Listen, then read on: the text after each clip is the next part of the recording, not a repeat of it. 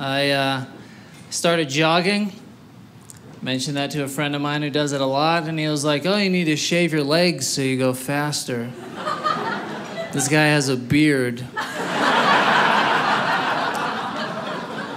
But I was like, no, I don't need to, you know, I'm fine with my resistance workout. But he was persistent. He was like, no, man, listen, I'd been riding my bike to work for years and I started shaving my legs every day, cut two minutes off the commute. It's like, but how long does it take you to shave? You know, you can shave your legs faster if your arms are shaved.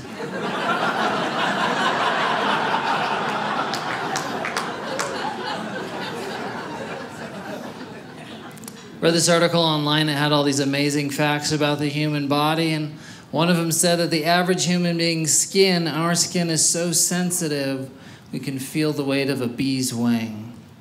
That's one ten thousandth of an ounce. If that's true, I'm below average. I've gone an entire day without realizing I had another pair of my underwear in my pant leg.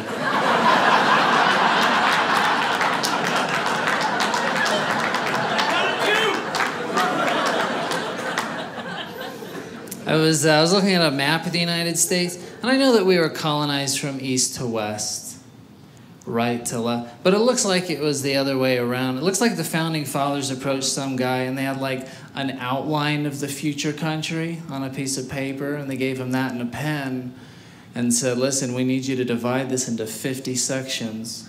Start on the left side. And he was like, Oh, yeah, there is plenty of room.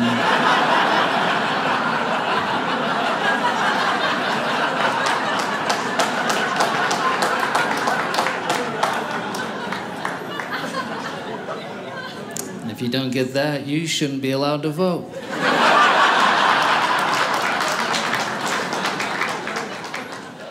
I live in uh, Burbank, California. I have a landline telephone, came with the tiny house that I rent.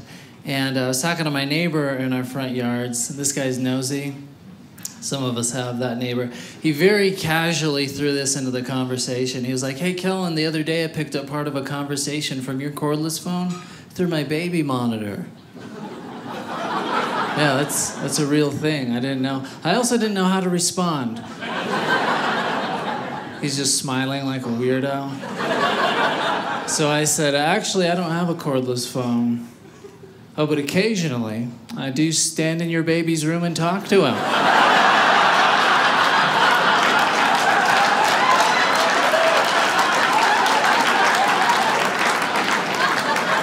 That's probably what that was. Anything else? No? Okay.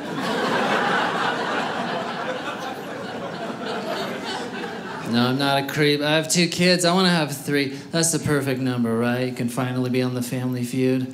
but also, with three kids, a mom and a dad, that's how many people comfortably fit in a log at Disneyland. Right? You have a fourth child, you have to buy another picture. It's like 30 bucks just for a snapshot of your toddler straddling some Russian couple.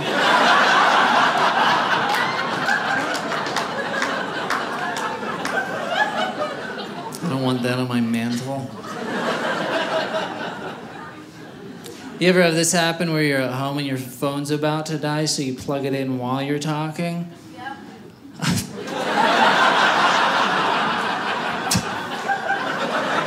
Just me and her. The rest of you have done it.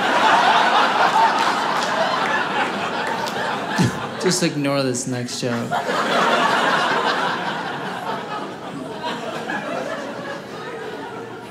I do that. I always forget that the cord is only 11 inches long.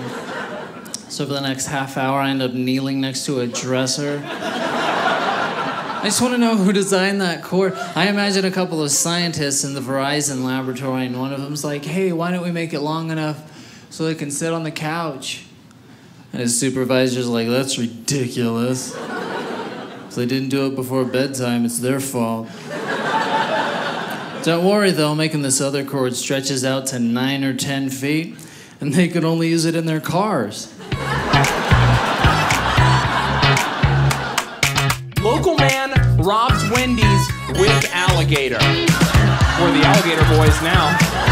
And the lady